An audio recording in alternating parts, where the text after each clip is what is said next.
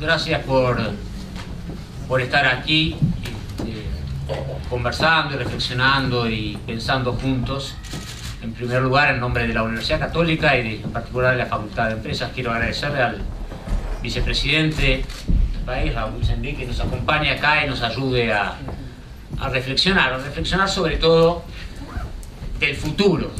Y es bueno en, en estos momentos a veces que está complicado el país, que está complicado a nivel internacional y la conjuntura a veces nos deja muy fijos en el presente. Y es bueno a veces tomarnos una distancia y poder proyectar. Yo soy profesor de, de estrategia y uno enseña, cuando enseña planificación estratégica, que el futuro primero hay que construirlo en la cabeza. Uno primero trata de construir un futuro compartido en la cabeza de uno, futuro a, a 5, 10 años, y después vuelve para el presente y ve de qué manera y con qué pasos hace para llegar a ese futuro. Es la única manera que tenemos de realmente nosotros ser los constructores del futuro y no que el futuro simplemente sea el resultado del acontecimiento y del devenir. Entonces está bueno esto de, de parar un momento, de tener una instancia de reflexionar, de ir construyendo juntos, de tirar ideas, de conversar sobre cosas que nos van, vamos logrando hacer esa visión común del futuro que tenemos que ir construyendo acá en, en el país juntos para después sí poder dar pasos firmes entre todos para lograr construirlo. Así que agradezco mucho a- al vicepresidente que esté aquí con esta inquietud también de, de pensar, de salir de la coyuntura que conversamos recién y uno sabe que nos tiene todos medios, medios atrapados, el, el hoy y el, y el pasado. Hace como decían, recién escuchaba el tema de los Lelutier, eso que en la tanda, ¿se acuerdan que decía suéltame pasado? No, suéltame presente, o sea, eso es lo que tenemos que tratar de hacer, o sea, suéltame presente que no me dejas pensar en el futuro y bueno, tomarnos por lo menos un ratito de reflexionar, de pensar, de mirar más allá y después poder juntos ir construyendo algo en la cabeza de todos que después podamos juntos todos construirlo. Así que agradezco. Este, Raúl Sendic va a dar un poco la charla y después lo que vamos a hacer, va- vamos a, a- a tener un momento para hacer preguntas y para hacerlas un poco ordenadas y que podamos este, ayudar con no se descontrole, le vamos a solicitar que las preguntas que vayan pensando las puedan hacer por escrito, por ahí están los asistentes con, con papeles, entonces a medida que se les ocurra una pregunta o la quieran hacer, la escriben y se la pasan, que se la van a entregar a, al director del Departamento de Economía acá para que después las alcance y lo podamos hacer. Así que bueno, muchas gracias por venir y te escuchamos hablar del futuro. Voy a parar, voy a mejor parado. Bueno, muy bien. En primer lugar, en primer lugar, eh, muchas gracias por la invitación. Es un placer muy grande estar aquí hoy con ustedes. No es la primera vez que estamos aquí en, esta, en este centro de estudios. Siempre que he venido, que he estado aquí, he tenido el mejor de los recibimientos, tengo el mejor de los recuerdos de algunas de las reuniones que hemos tenido. Tenemos, incluso hace pocos días, este, teníamos también una presentación de un libro que no pude venir porque estaba con una gripe bárbara, este, y era uno de los que tenía que estar ese día en, una presentación. El tema es este, tremendamente eh, desafiante, porque efectivamente, como bien decía recién, el- estamos demasiado acostumbrados a pensar exclusivamente en el presente, o estamos muy acostumbrados a pensar en el corto plazo. Se trazó una estrategia a largo plazo, en la que ANCAP fue parte de una estrategia a largo plazo que se trazó, y nosotros también impulsamos en, en un momento eh, lo que llamamos un foro de trabajo de Uruguay 2030 con la idea de nuclear allí a una cantidad de actores de distintos ámbitos, del sector privado, del sector público, que abordamos temas este, importantes sobre eh, la estrategia, el futuro, la matriz productiva, la matriz energética, la inserción internacional del país y otros, y algunos de estos temas que tenían que ver con la estrategia de largo plazo. Y que nos ha dado eh, una cantidad importante de ingredientes a la hora de pensar en el, en el largo plazo como bien eh, se decía, es ese doble viaje, digamos, de ir hacia donde, de imaginarnos el, país que queremos tener, de volver al presente para poder pensar qué es lo que tenemos que hacer sobre estas bases este, hacia, eh, en la construcción de, de esos objetivos hacia los que queremos llegar. Nosotros pensamos que hay algunas líneas de trabajo que hay que desarrollar.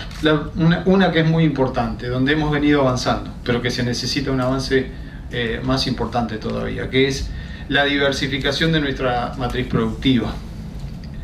El Uruguay ha ido eh, haciendo cada día más compleja su matriz productiva.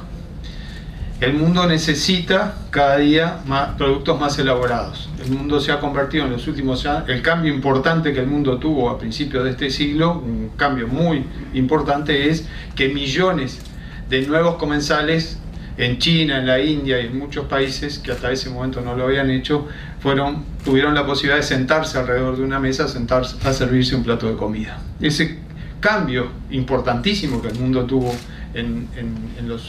a principios de este siglo, generó un cambio importante a nivel de aquellos países que somos proveedores de alimentos para el mundo, que somos productores de materias primas, que somos capaces de producirlo porque tenemos buenas tierras, porque tenemos agua, porque tenemos conocimiento, porque lo sabemos hacer. Y esa, eh, eso puso a, prácticamente a todo este continente en buenas condiciones para ser proveedor de alimentos y de materias primas para el mundo. El Uruguay fue avanzando en esa complejización de su matriz productiva, con políticas que al principio eh, hemos, este, con una diversidad importante de políticas, algunas eh, herramientas muy válidas como la ley de inversiones, que fue orientando inversión hacia determinados sectores que el país tenía interés en desarrollar.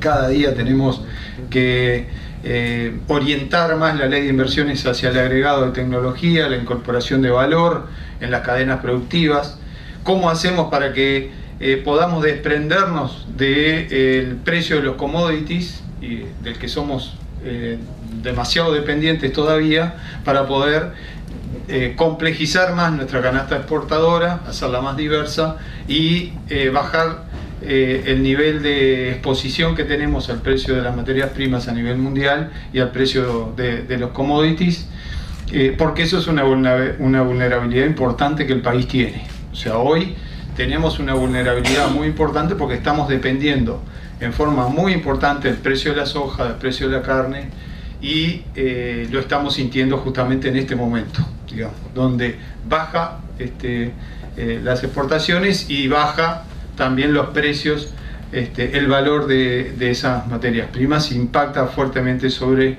nuestra economía. Por eso es tan importante que hagamos una apuesta fuerte a, hacer una matriz productiva cada día más compleja, con mayor valor agregado, que requiera eh, mayores capacidades, mayores tecnologías, que requiera a su vez gente más capacitada. Y la gente más capacitada, con mejores conocimientos, se incorpora mejor en las cadenas productivas y en las cadenas de valor y a través de esos conocimientos se, apropia de un pedacito cada vez mayor de la economía por sus capacidades y por su eh, conocimiento y porque le aporta a esas cadenas de valor en forma importante.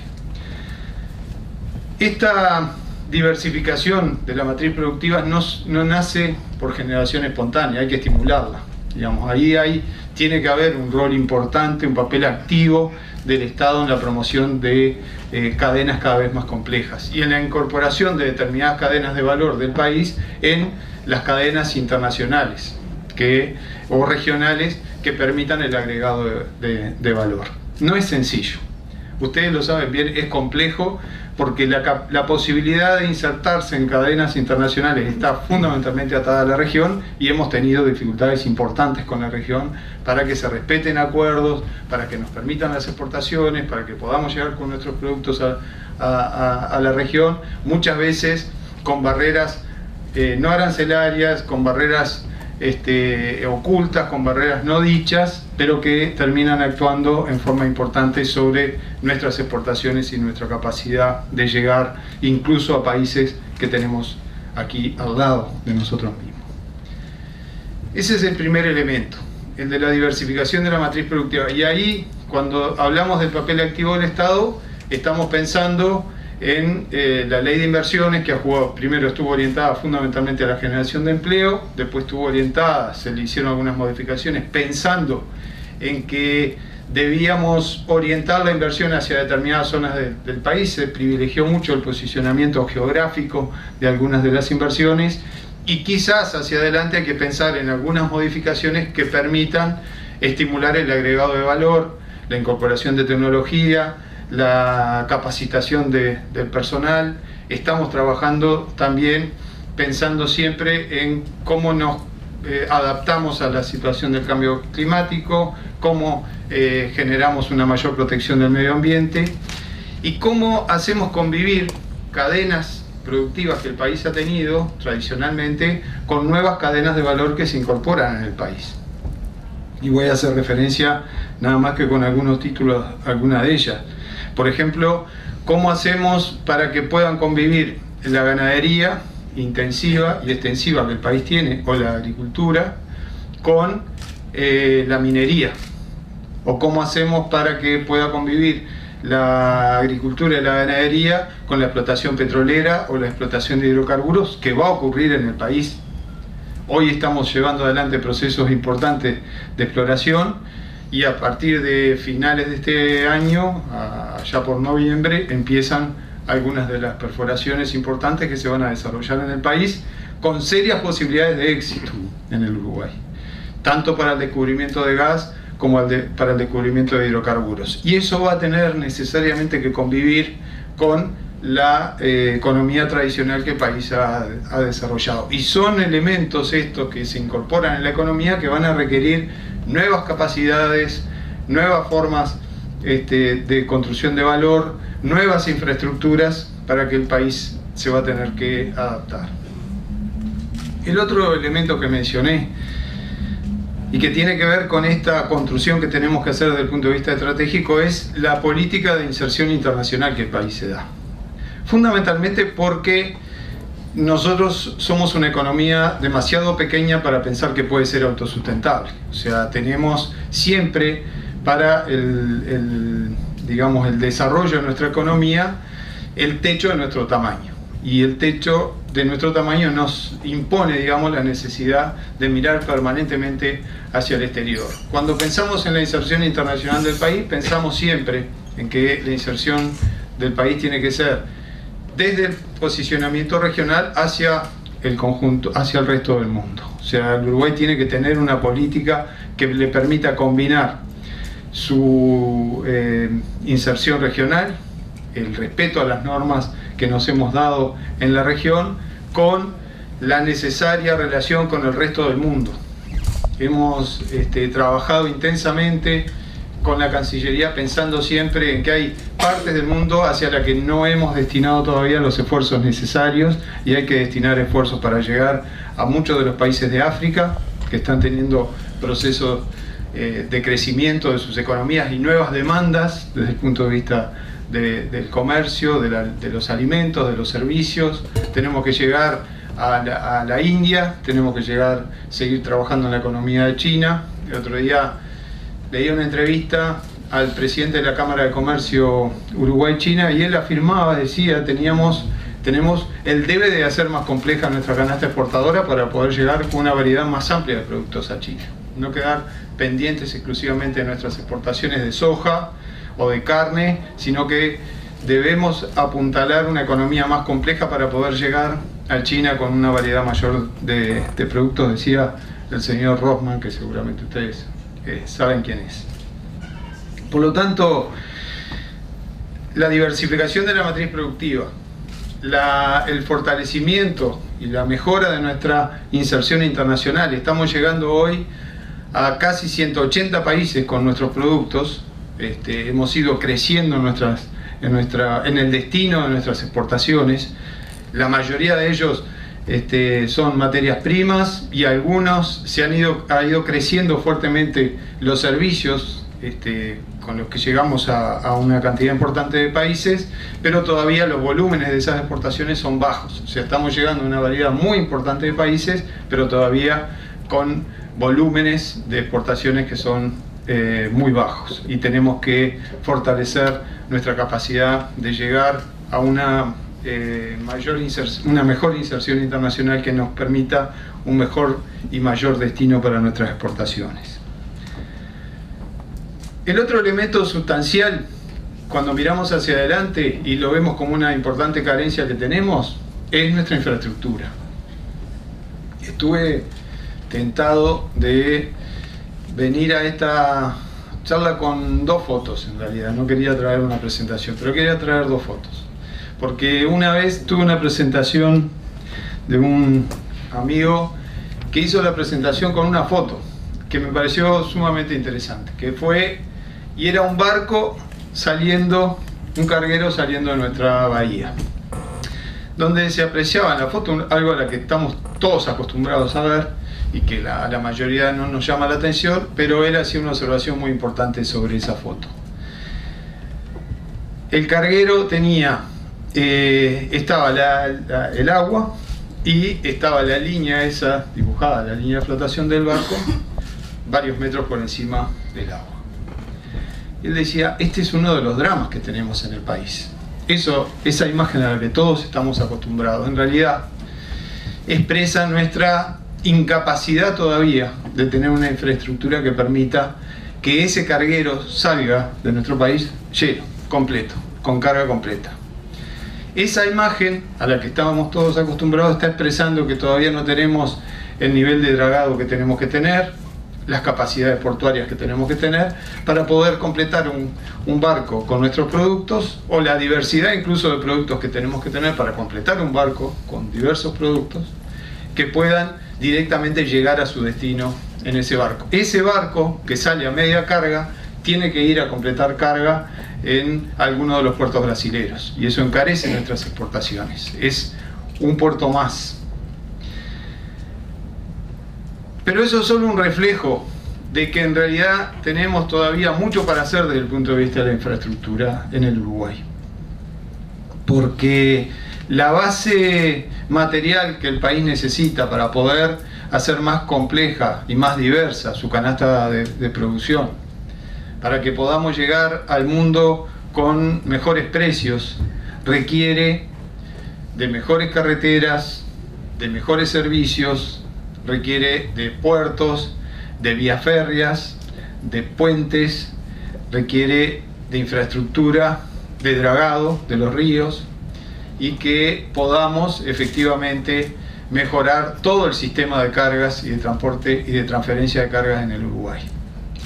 Pero no solamente requiere de esa infraestructura física, de puentes, puertos, carreteras, vías férreas, dragados, sino que también requiere de una buena infraestructura desde el punto de vista energético y una buena infraestructura desde el punto de vista de las telecomunicaciones. Desde el punto de vista energético hemos avanzado muchísimo. Cuando nosotros, eh, yo recuerdo allá en el año 2005, cuando iniciamos la gestión de nuestro gobierno, estábamos al borde del apagón. En aquel momento, eh, en aquel primer invierno prácticamente estábamos eh, pensando en los apagones programados y en la necesidad de comprar de urgencia unas turbinas aeroderivativas que se instalaban para tratar de salvar de la situación del apagón al que seguramente íbamos en pleno invierno. A lo largo del, tiempo se fue fortaleciendo la infraestructura energética del país y el país hoy es autosuficiente desde el punto de vista energético e incluso es exportador de energía.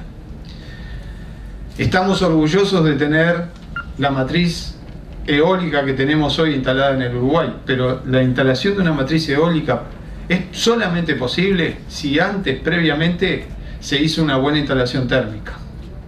No es posible avanzar en la energía eólica, que tiene un rendimiento de un 35, un 45% aproximadamente y que funciona cuando hay viento, si no tenemos un buen respaldo térmico que nos permita jugarnos la energía eólica.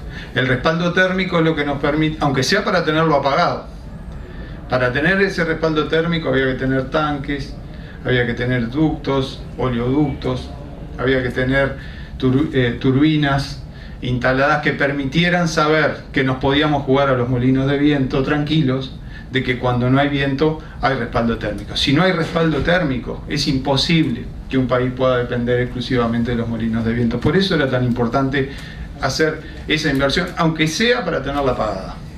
Y si está pagada, mejor todavía. Es un tremendo negocio. Pero se necesita sí hacer la inversión y estratégicamente había que pensarlo.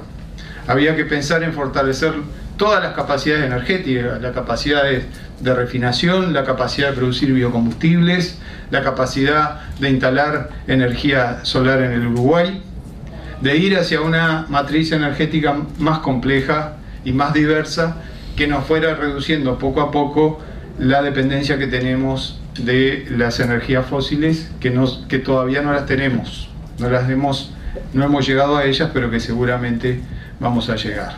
Por lo tanto, esa también era una inversión estratégica que el país tenía que hacer.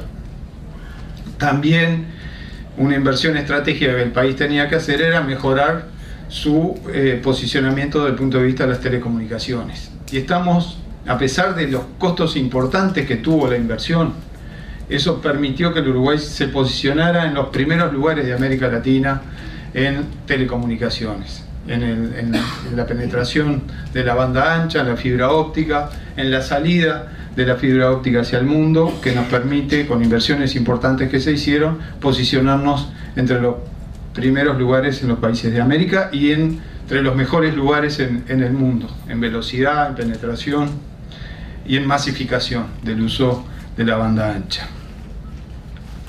Por eso es tan importante la apuesta que hagamos a la infraestructura del país en los próximos años, reconociendo como lo, estamos haciendo, cuáles son nuestros debes todavía. O sea, nosotros no estamos haciendo una mirada autocomplaciente, estamos diciendo dónde están las carencias y estamos apuntalando y sabemos que acá tiene que haber un esfuerzo público y privado para poner al país a la altura de las necesidades que va a tener, porque si no hacemos esa inversión en infraestructura, fundamentalmente en la infraestructura física, de las carreteras, las vías férreas, las, este, las instalaciones portuarias, el país va a tener dificultades importantes para poder llegar al mundo con su producción y prestar los servicios y aprovechar además este, esa tremenda condición geográfica que el Uruguay tiene privilegiada en América Latina porque podemos convertirnos, si hacemos esa inversión, en un una, una, puerta de entrada y salida, no solamente para nuestro país, sino para una buena parte de Sudamérica,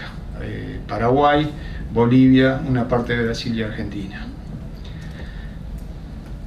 El otro elemento importantísimo que hoy está en todo el debate público es la inversión en la calidad de las personas, es la educación y la formación de capacidades en el país. El Uruguay necesita una gran reforma educativa.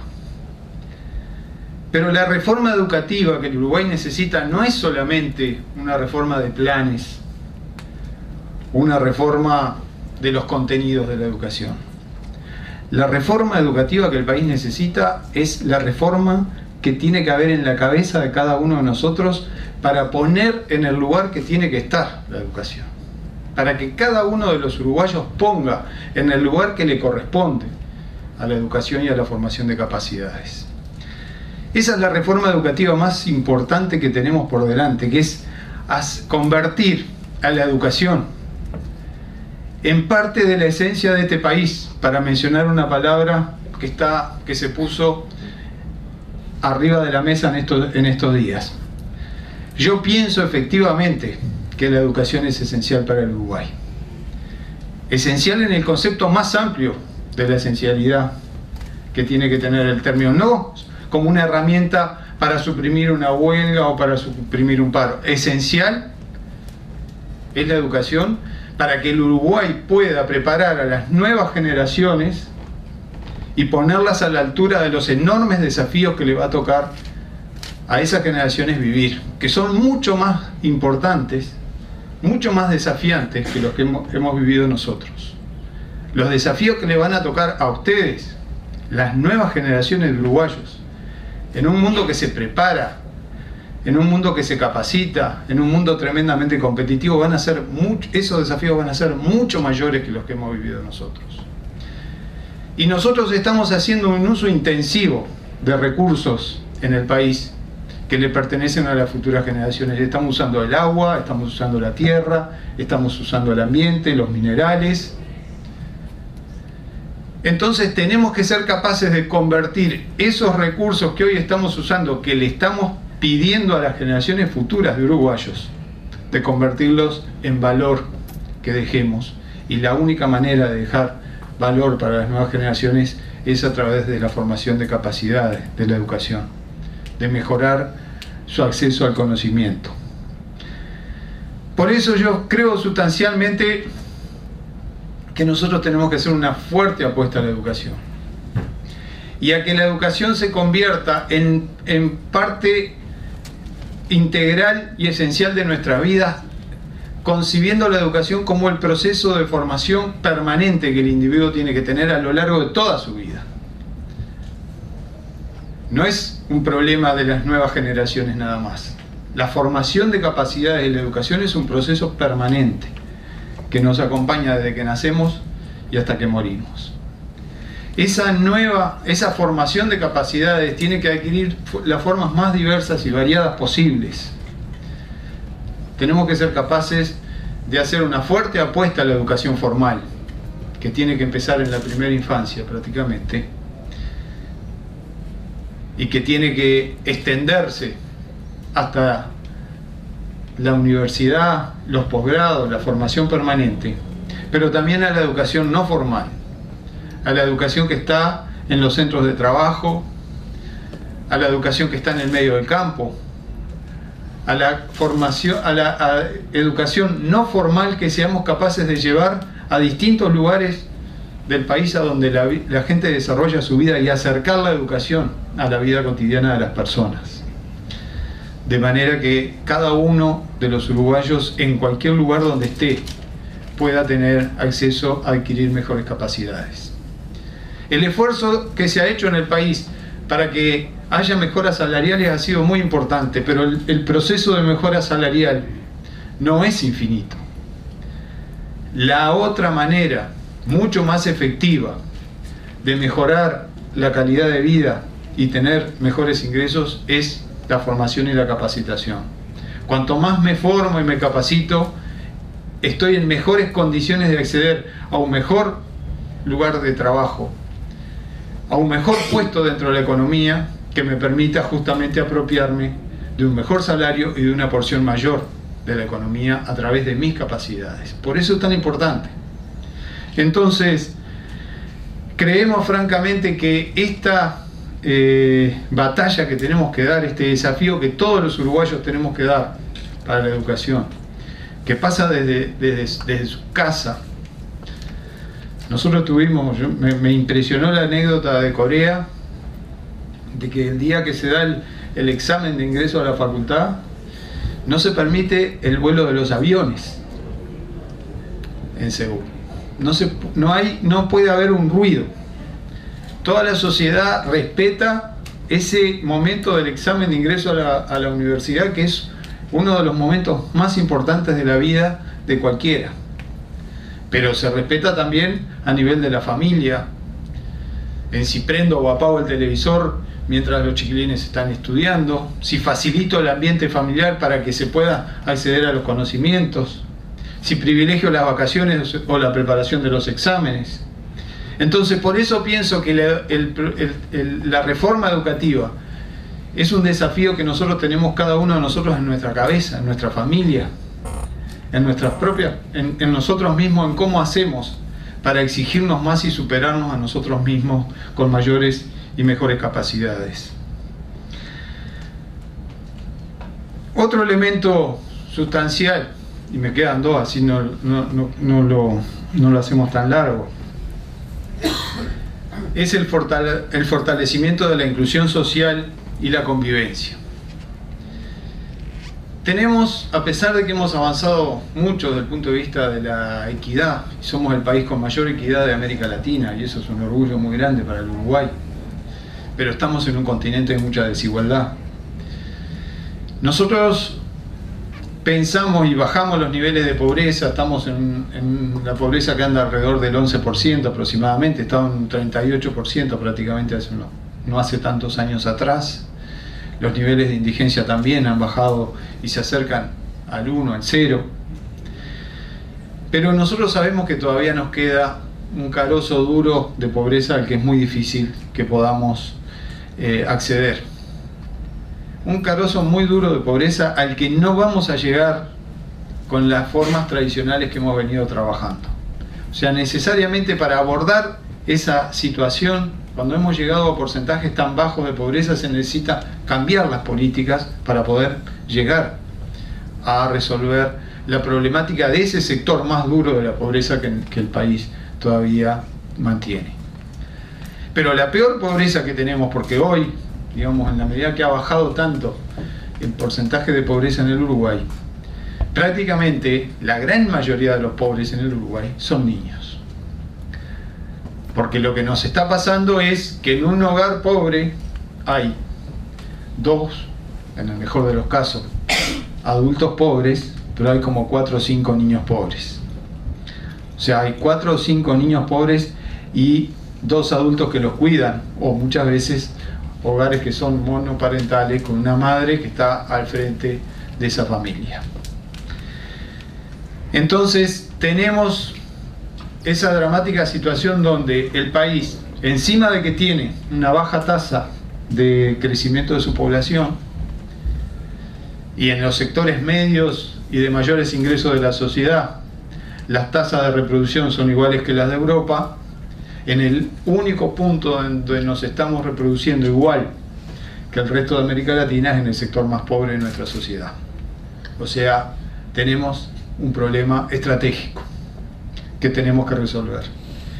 Y lo tenemos que resolver abordando soluciones para la primera infancia y para ese sector de pobreza que nos queda, y ahí el papel, el, el papel del Estado fundamental, con los programas que atiendan a la madre desde el embarazo y que atiendan la primera infancia, con una canasta importante, una batería de medidas que hay que abordar, de alimento, atención sanitaria, educación para el estímulo, en una etapa donde ustedes saben bien, se forman la base fundamental del pensamiento, se forma el cerebro, se forman las conexiones neuronales, las barras de protección de los axones y de las dendritas. Tenemos ahí justamente en esa primera infancia que trabajar para evitar que esas dificultades se conviertan en un daño estructural para el cerebro que después a lo largo de la vida no se puede resolver nunca más.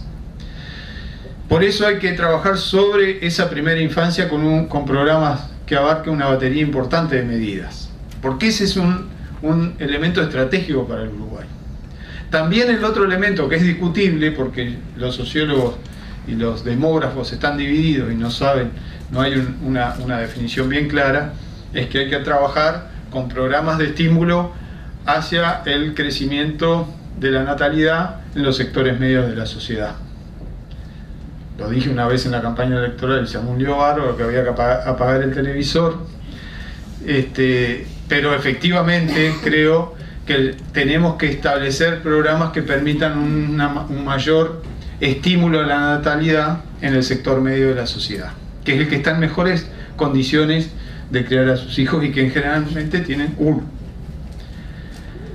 Entonces, nosotros tenemos que proteger a la primera infancia más pobre. Tenemos que generar un, programas de desarrollo que permitan a su vez, porque el problema de que el Uruguay tenga una baja tasa de natalidad es un problema de toda la sociedad. Es un problema estructural y estratégico de la sociedad. Aunque hoy eh, no lo querramos ver, es un problema que cada vez eh, nos va a caer más arriba porque se convierte en eh, insustentable. Desde el punto de vista económico, desde el punto de vista social, se convierte en insustentable. Entonces, tenemos que abordarlo y sincerarnos con este problema, aunque cueste. Es necesario abordar políticas que permitan estimular la natalidad en determinados sectores de la sociedad y proteger a la infancia en los sectores donde hoy los niveles de natalidad son altos.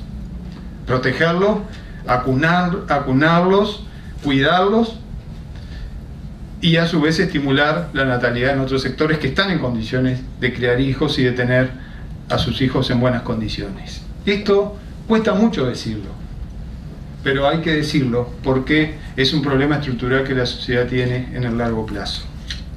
Tenemos que a su vez establecer políticas que permitan, una cosa que me olvidé decir al principio, perdónenme, porque veo que, que pasan los papeles, no es solo pregunta, también pues van a poder opinar de lo que quieran porque vinimos a conversar, entonces, porque como se mencionaron las preguntas, pero también seguramente tienen propuestas o este, eh, inquietudes para, para plantear y cuestionamientos y críticas también bienvenidas.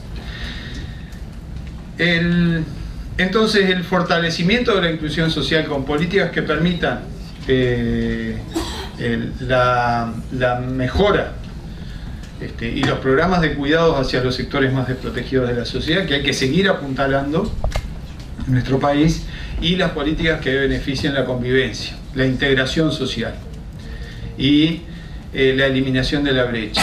La educación juega un papel fundamental en esto. La educación juega un papel fundamental.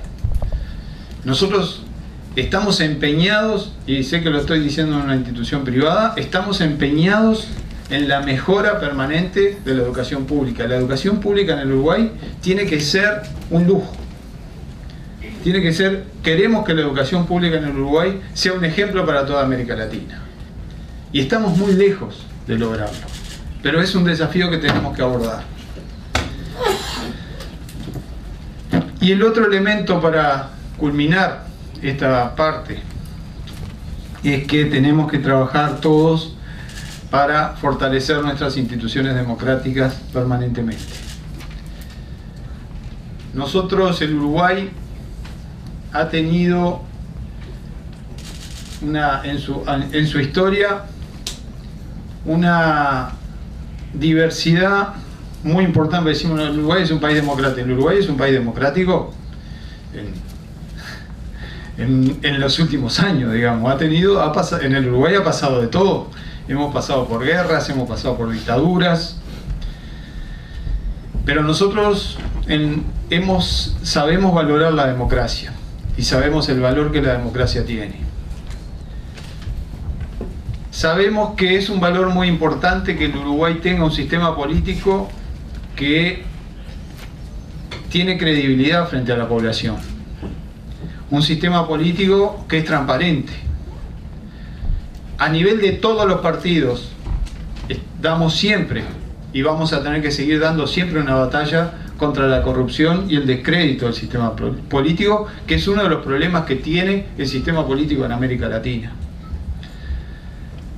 Tenemos que estar atentos permanentemente a esos elementos que corrompen al sistema político y lo desacreditan frente a la población.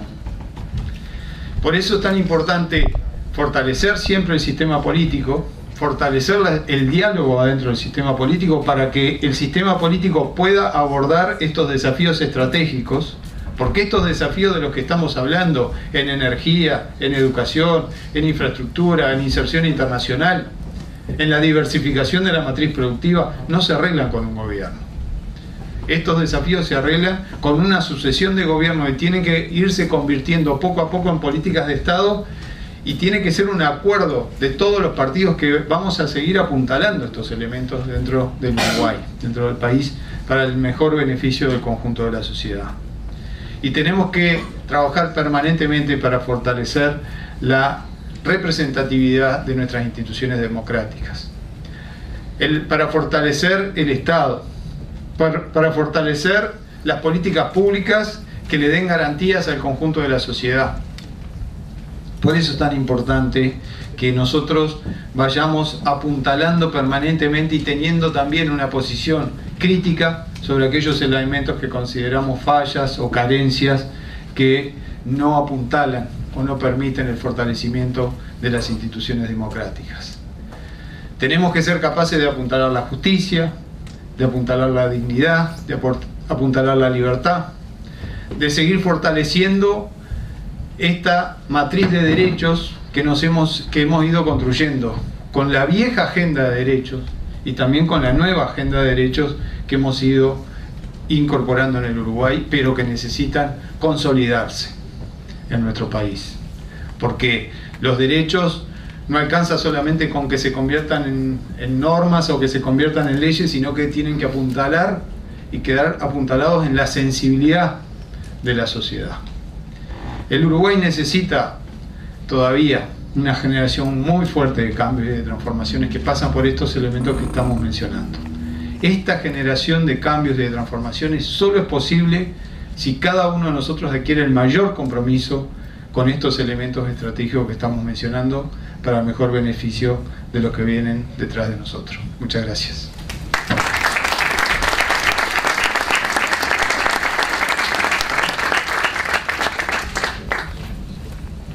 Bueno, muchas gracias, Ausendic. Muchas gracias por, por estos aportes. Una cosa importante, no solo el compromiso, sino uno podría decir, las organizaciones y los países y nosotros mismos siempre avanzamos en función de nuestros discursos. De lo que hablamos, en lo que hablamos es, y de lo que nos preguntamos es donde vamos a buscar respuestas y donde avanzamos. Si no nos preguntamos de cómo mejorar la educación y ese concepto tuyo de de que la gran revolución de la educación es el cambio en la cabeza de uno. lo que comentabas de Seúl, yo estuve en Seúl también el año pasado y, me sorprendí. O sea, la educación ellos realmente la tienen en, la cabeza, o sea, es una prioridad de cabeza. O si, o si no nos cuestionamos en cómo avanzar en, la, en poblar más al Uruguay y en esos temas que a veces ni lo pensamos y nos pasan por la cabeza en cómo, cómo logramos tener más gente aquí, no, no lo vamos a conversar. Entonces, creo que tuvieron buenos los, los puntos, algunos temas donde uno, la sociedad uruguaya, si queremos avanzar en eso, tenemos que ponernos a pensar y conversar y discutir esos temas, y tenerlos siempre presentes. El fútbol está bien, pero también pensar en estos temas, conversar eso, porque si lo vamos conversando, se nos van a ocurrir este, alternativas y, muy bien. Bueno, vamos. ¿Qué? Bueno, es que no le está. No le está Orlando dijo que no que no jugamos al fútbol. es desafiante también. Está yendo muy bien ahora, ¿no? Bien. Te paso a hacer algunas preguntas que... Estamos mal.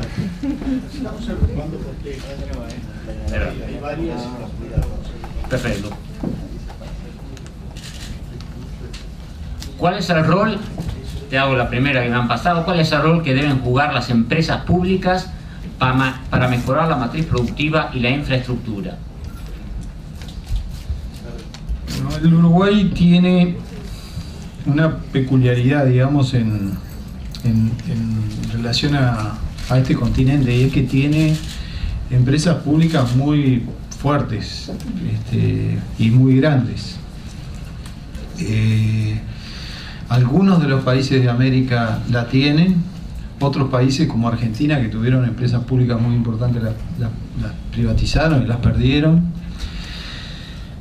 Y este punto yo sé que es un punto que puede ser discutible, digamos. Yo voy a dar mi posición sobre este tema, porque me lo preguntaron a mí, y este, yo creo que las empresas públicas son, herramientas muy importantes para el desarrollo del país y para apuntalar muchas de estas políticas que estamos eh, proponiendo y planteando.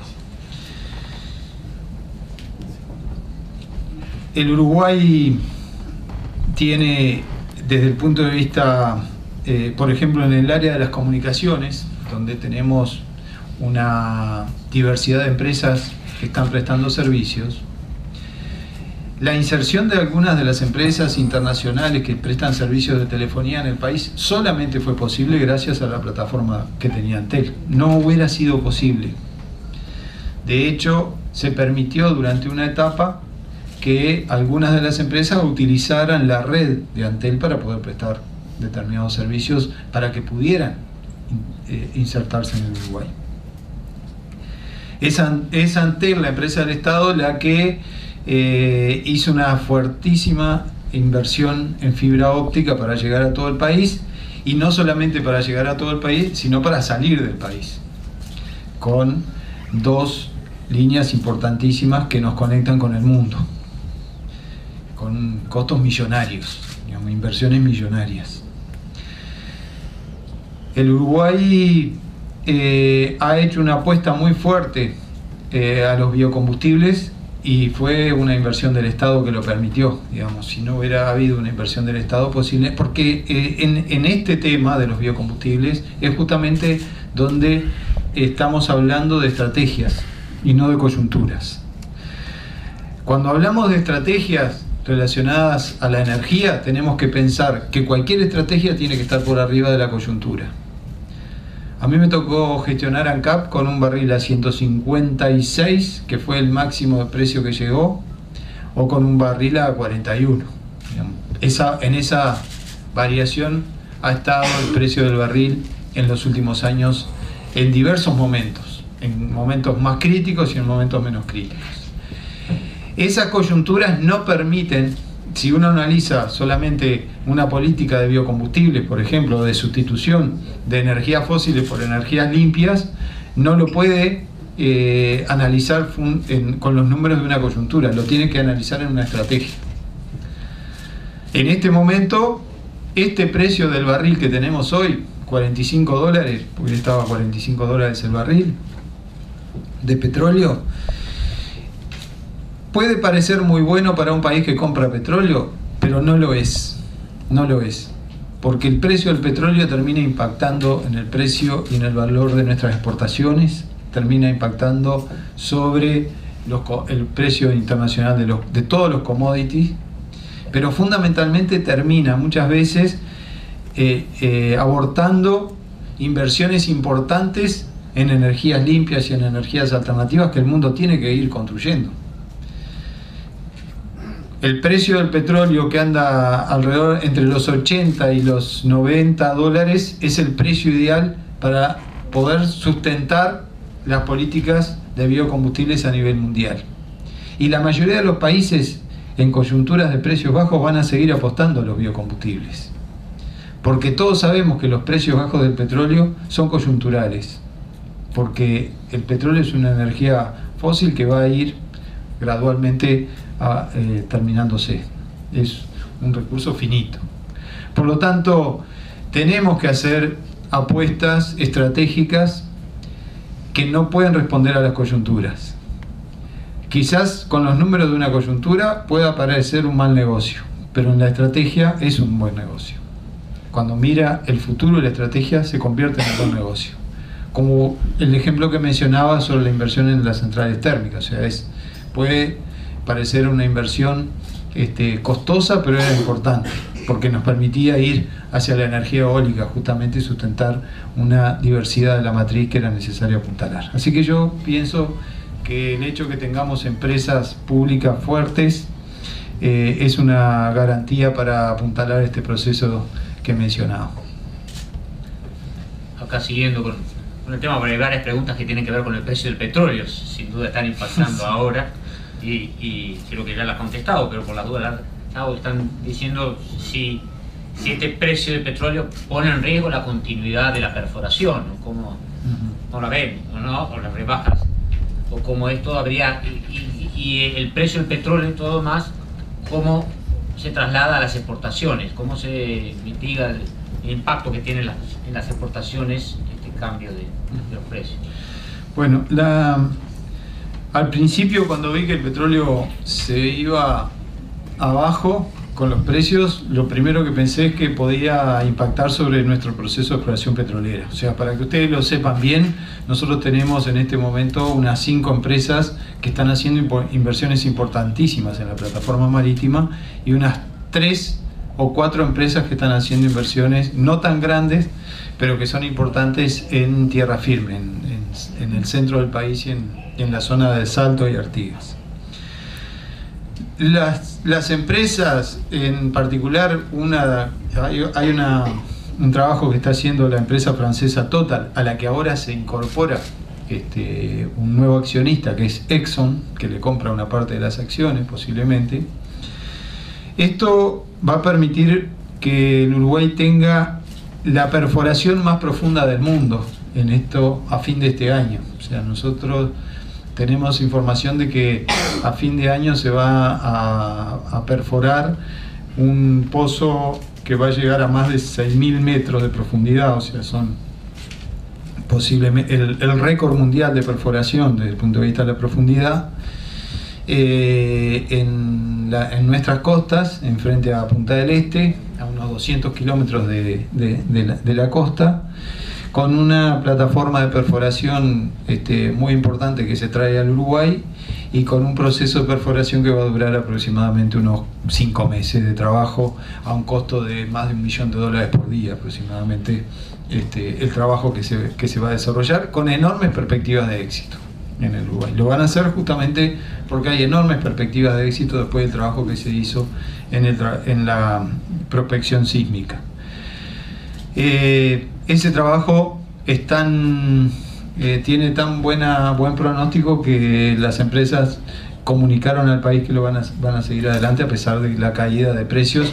En realidad lo que lo, primero hay que encontrarlo y después se determinará en función de los precios internacionales si esa explotación es, es viable o no es viable o si se guarda para después, pero este, creo que en este momento fue muy importante que las empresas mantuvieran el plan de perforación que, estaba programado.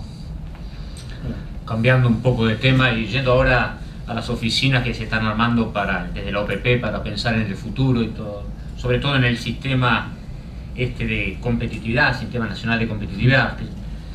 Hay una pregunta acá, por un lado, cómo se tiene pensado hacerlo, cuáles serían las prioridades, y por otro lado, si, siendo un tema estratégico, cómo se va a hacer para blindar esto de los cambios de gobierno, que esto realmente se pueda transformar en una estrategia a largo plazo y no cambie con los gobiernos.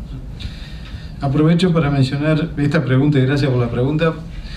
El Sistema Nacional de Competitividad, como el Sistema eh, Integrado de Cuidados, este, o algunas de las políticas que se han desarrollado, como fueron los centros CAIF, que no los inventó el Frente Amplio, sino que fueron este, políticas que se desarrollaron previamente con, los gobiernos anteriores y que se mantuvieron, son políticas que, que no importa qué gobierno venga, yo tengo la convicción de que se van a sostener, porque hay una suficiente coherencia y seriedad dentro del sistema político para poder este, afirmar eso.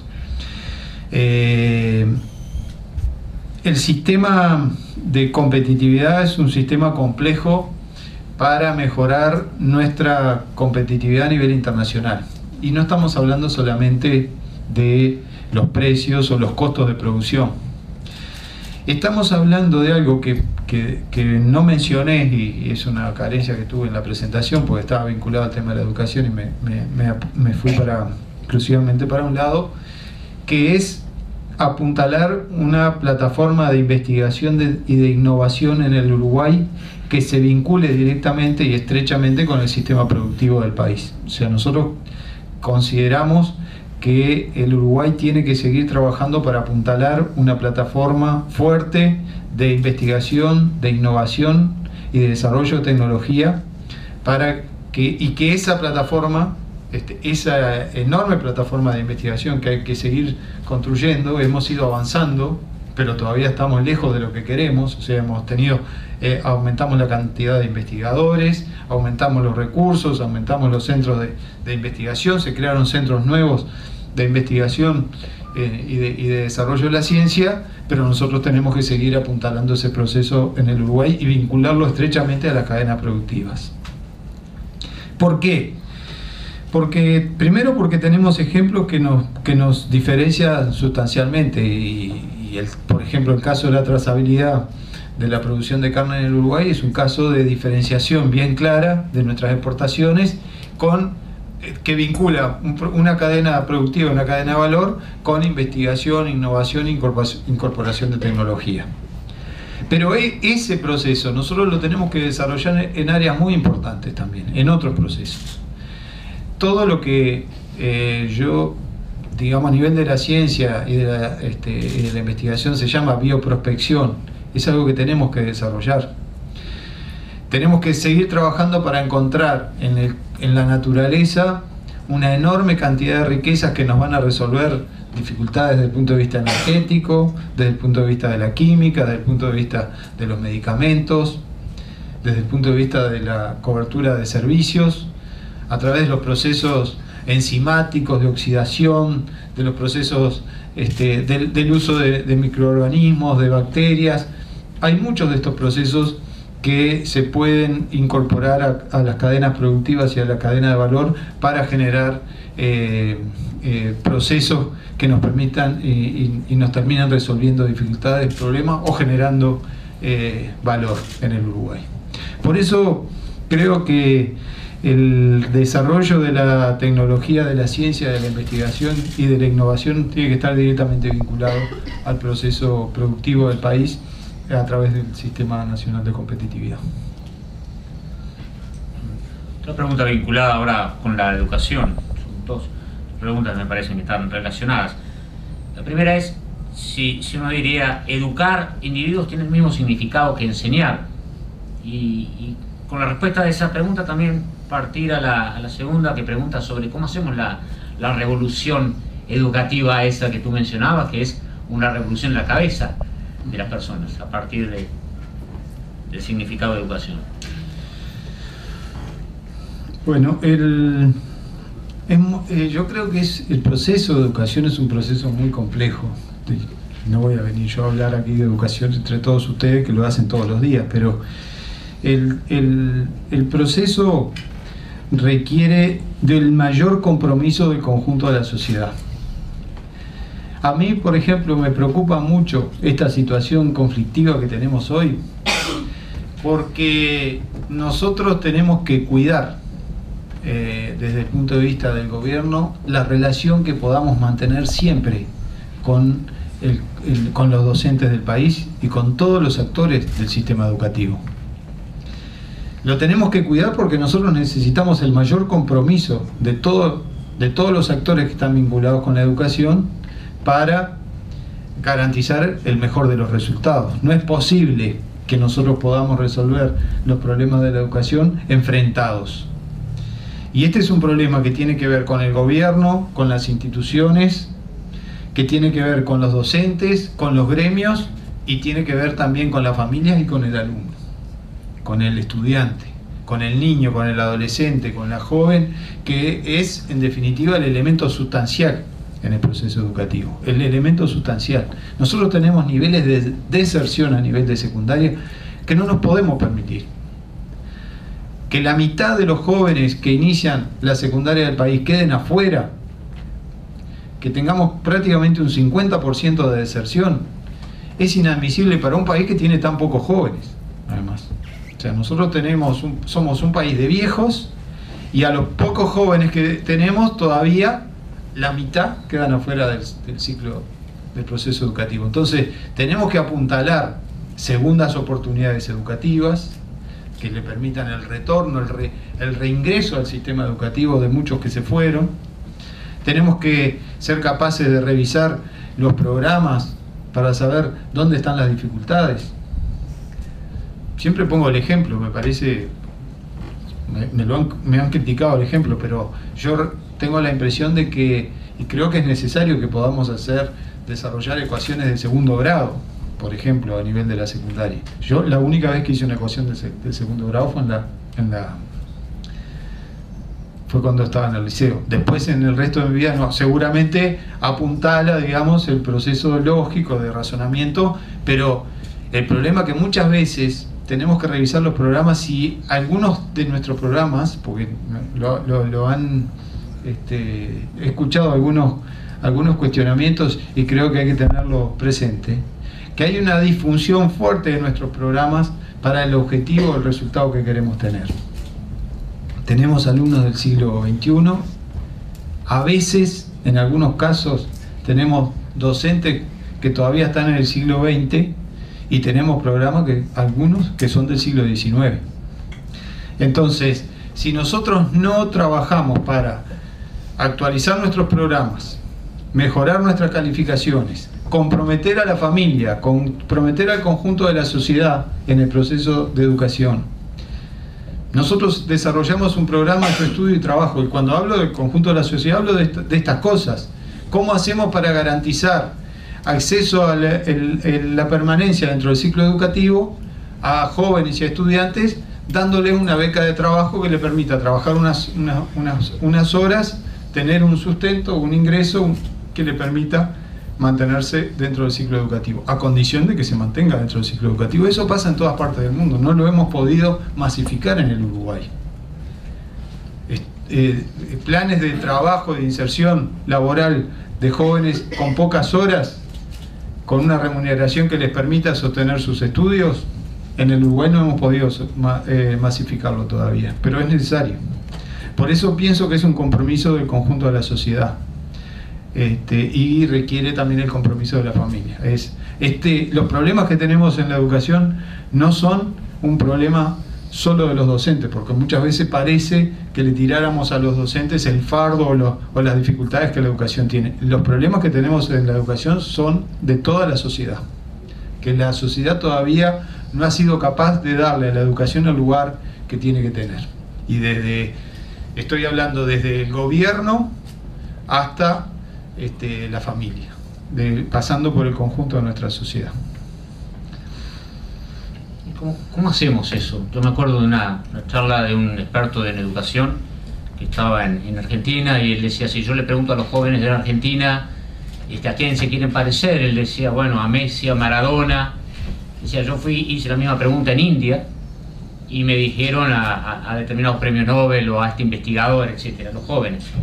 O sea, definitiva lo que tenemos que hacer es esa transformación para que los jóvenes contesten de la manera que contestan los indios, es lo que estás diciendo. ¿Cómo, se hace eso en concreto?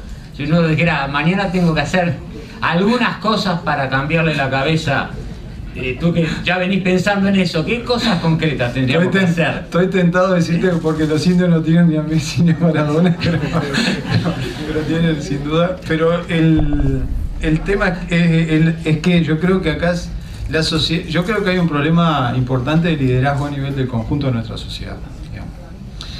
Este, en todos lados necesitamos liderazgos, a nivel de la gestión, a nivel de las instituciones, a nivel de la, de la juventud, a nivel de... O sea, tenemos que seguir construyendo paradigmas, digamos, y yo creo que nosotros tenemos que ser capaces de generar en la sociedad el paradigma de la educación, de, la valorización de la educación. Que sea una vergüenza que abandones el liceo.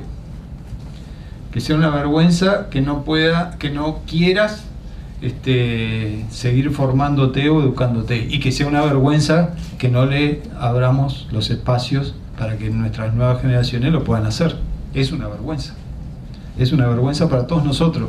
Que tengamos un nivel de deserción del 50% es una vergüenza para todos nosotros.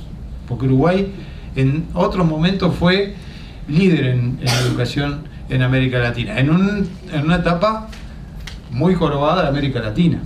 Pero nosotros pudimos desarrollar determinados paradigmas y hemos ido perdiendo esos paradigmas. Por eso a mí me parece que es necesario desarrollar el paradigma de la educación en el país y convertir a la educación en el gran desafío del conjunto de la sociedad y que eso sea transmitido a través de todos nuestros liderazgos, de todos nuestros liderazgos. Que hoy podamos estar interpelados por las familias, ¿por qué no tienen a sus hijos hoy en los liceos y en las escuelas? ¿Por qué hace días que nuestras familias no tienen a sus hijos en las escuelas y en los liceos?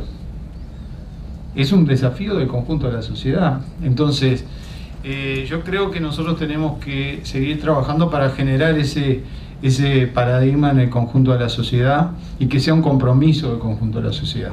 Seguramente para poder lograrlo hay que utilizar muchas herramientas, muchas herramientas de estímulo que permitan eh, el, mayor desarrollo de, las potencialidades, de las capacidades en cada lugar eh, que podamos canalizar y mejorar el acceso al estudio y a la formación, eh, llevando el estudio hacia el interior.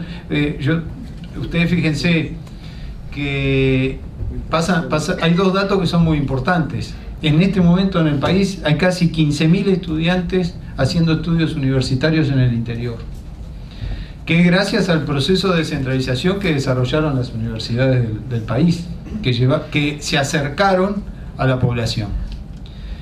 Y el otro elemento, que es un dato estructural del país, es que la mayoría en este momento de los estudiantes de la universidad, la mayoría son van a ser universitarios por primera vez en su familia.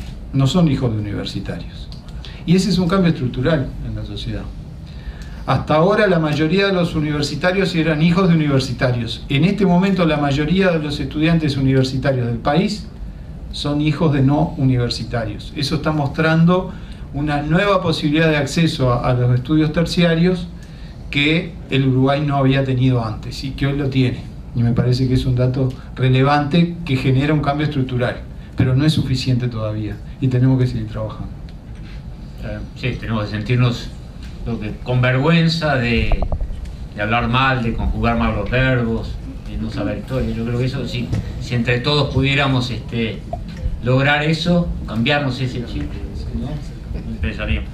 Muy bien, pasando a, pasando a un tema ahora de inserción internacional y, vinculándonos con el mundo. Acá hay algunas, algunas preguntas. Este, siendo un país tan chico, una economía tan pequeña, bordeada de, de vecinos tan grandes, este, ¿cuál tendría que ser la, los, los objetivos y prioridades del Uruguay? ¿Cuáles son ahora?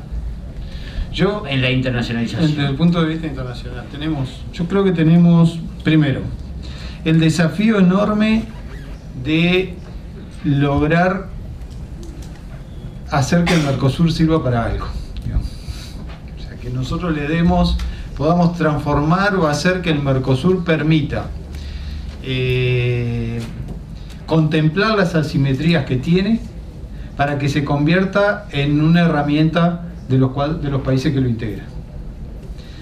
Nosotros no hemos logrado todavía que el Mercosur sea una verdadera unión desde el punto de vista comercial, desde el punto de vista aduanero, desde el punto de vista productivo. Lamentablemente no, porque nos han, eh, nos hemos dejado llevar por mezquindades nacionales que todas son menores que el objetivo máximo de la integración, que el objetivo mayor que, es la integración.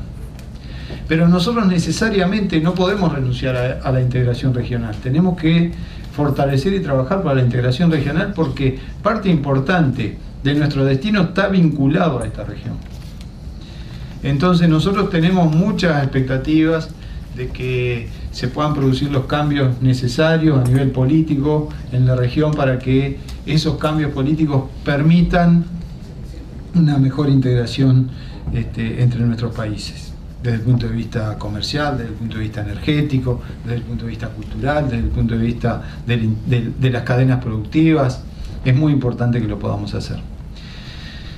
Pero esa vocación regional eh, eh, no es, nos, nos lleva este, a la internacionalización del país, a la búsqueda de los acuerdos bilaterales que nos permitan la colocación de nuestros productos fuera de, de, de la región, a que podamos en, a través de, de los acuerdos eh, regionales o bilaterales llegar con nuestros productos a parte de África, a parte de Europa, a parte de Asia, que son eh, mercados que se empiezan a expandir tenemos una complementariedad importante con algunos de los productos. Hoy mencionábamos a, con, algunos de los países, hoy mencionábamos a Corea, por ejemplo, y hay una complementariedad muy fuerte entre la economía de Corea y la economía nuestra. Corea tiene enormes necesidades desde el punto de vista de los alimentos y tiene enormes posibilidades de brindarnos tecnologías que nosotros necesitamos.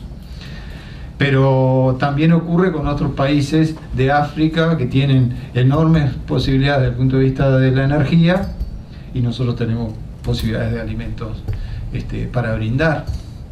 Entonces, creo francamente que tenemos que seguir eh, trabajando en esos acuerdos, en la búsqueda de esos, de esos mercados que nos permitan la colocación de nuestras exportaciones y, es un desvelo permanente del gobierno eso, digamos, llegar a, a, una mayor... Yo estuve en la cumbre entre la, la CELAC y la, y la Unión Europea en Bruselas hace poco tiempo, pocas semanas atrás, y hubo un muy buen intercambio entre los jefes de Estado de la Unión Europea y, América Latina. A nosotros nos tocó encabezar la delegación de Uruguay y hay grandes posibilidades de ir a, acuerdos mayores entre la Unión Europea y el Mercosur, entre eh, la CELAC y la Unión Europea y el conjunto de las naciones suramericanas con las que hay que seguir trabajando, pero también tenemos que trabajar hacia eh, Perú, eh, hacia parte de, los países de América,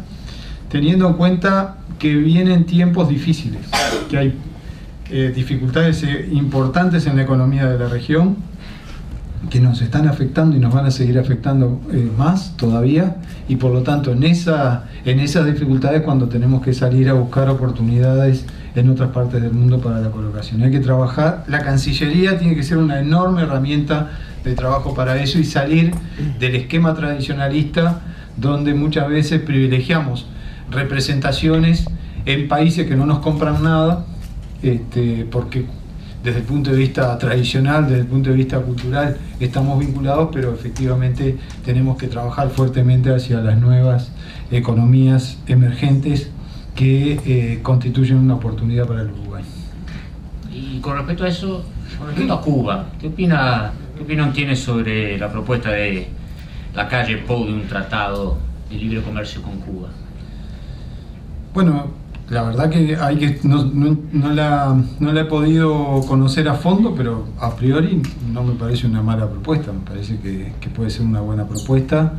Eh, seguramente tanto tenemos un tratado con México, tenemos un tratado con los países del Mercosur, tenemos que seguir eh, trabajando en, los en, en, esta integración sur-sur, digamos, que, tanto bien nos hace, y Cuba es una posibilidad. Cuba tiene una trayectoria de, cumplidor, digamos, a nivel internacional que es, que es importante, y tiene también necesidades desde el punto de vista de, alimentos muy importantes esta nueva situación y esta nueva relación entre Cuba y Estados Unidos, sin duda, que abre un, horizonte, digamos, que, es todavía difícil de, visualizar, digamos, hacia, hacia dónde va y cuáles son las, posibilidades o las perspectivas. Seguramente va a haber inversiones muy importantes en Cuba en los próximos años, pero, este, pero sin duda que, hay que estar atento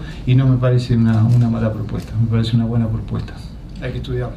bueno, y la, última pregunta, sobre todo, supongo que muy interesante para los viejitos, ¿no? Con nosotros cerca de la jubilación, ¿no? Eh, el tema de, estar despoblados y tener una, una población envejecida tiene problemas con el, con el BPS.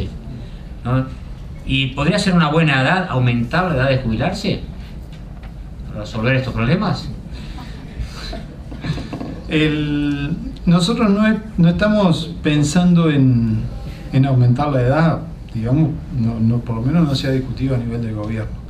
Lo que cada vez este, se utiliza más a nivel, por la experiencia que han hecho otros países y también algunas experiencias concretas de aquí en Uruguay, es la jubilación activa, digamos que me parece que es una, buena eh, posibilidad, que es fundamentalmente el aprovechamiento de la experiencia para la formación justamente de capacidades en nuevas generaciones.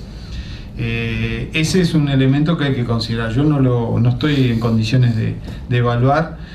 Este, me parece que más que eh, digamos subir la edad jubilatoria, este, me preocupa mucho más cómo le damos oportunidades a, las nuevas generaciones de incorporación en, la sociedad y en el mercado digamos, de trabajo, que es una, una dificultad importante que el Uruguay todavía tiene. Entonces eh, hay que ver cómo se combina eso. Lo cierto es que si no hacemos algo con las nuevas generaciones, digamos, si no generamos una, una mejor tasa de natalidad, cada vez vamos a necesitar que, que los viejos trabajen más porque no se sustenta, el, sistema tiene dificultades de sustento, sino, digamos, porque eh, por eso me parece tan importante que podamos eh, sincerar este tipo de discusiones a nivel del conjunto. Lo estamos, estos temas lo hemos estado conversando incluso con legisladores de otros partidos. La, la senadora Verónica Alonso hizo una propuesta sobre eh, los temas relacionados con la natalidad en el sector medio de la sociedad.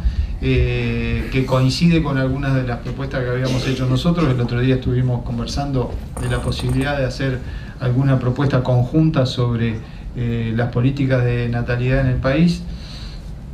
Este, hay que analizarlo, porque creo que es bueno que a su vez que este tipo de políticas trasciendan a los partidos y podamos generar acuerdos más generales que nos permitan instrumentar soluciones de largo plazo, porque esto sin duda requiere soluciones de largo plazo. Y hay experiencias que se han hecho en, en, lugares concretos que han tenido efectividad.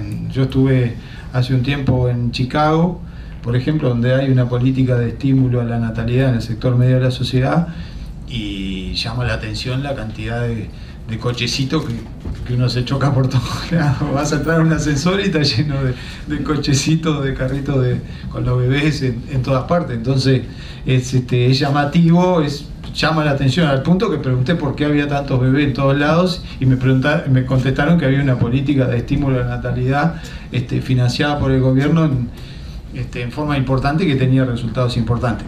Hay otros de este, sociólogos que dicen que las políticas de estímulo a la natalidad no sirven para nada, pero este, habrá que, poner los temas arriba de la mesa y estudiarlos a fondo. Muy bien, sí, podemos aumentar los impuestos a los televisores. pero en, este, voy a, poner un caso que es muy gracioso, pero es real. Dinamarca tiene una política que eh, a los a las parejas jóvenes que se van de viaje al Mediterráneo, si vuelven con un test de embarazo positivo, le pagan las vacaciones. no se lo vamos a copiar, pero, nosotros no estamos pensando en eso, pero en pagarle vacaciones en el Mediterráneo, pero es un caso, es, es real que en Dinamarca existe esa política para estimular la natalidad. Bueno, Raúl, muchas gracias por, por esta conversación, por tus ideas. Muchas gracias a todos los que hicieron preguntas, que creo que enriquecieron este diálogo y esta conversación. Y gracias por permitirnos eso, de pensar un poco en el futuro y dejar el presente para construir juntos ideas de, este futuro que queremos construir para todos los uruguayos. Bueno, muchas gracias. Gracias a ustedes.